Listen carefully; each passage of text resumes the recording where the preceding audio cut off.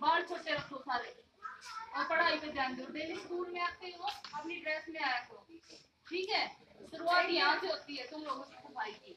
दूसरी बात, जिनके घर में शौचालय नहीं है, वो अपने माँ बाप को फोर्स कर सकते हैं, वो बच्चे। तो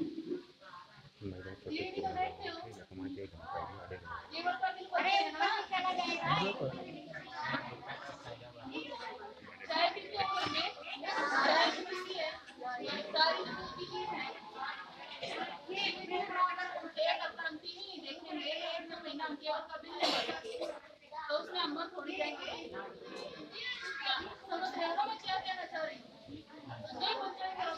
नहीं बना होगा वो अपने माँ बाप को जाके बोलेंगे कि भाई अपने घर में शौचालय बनाओ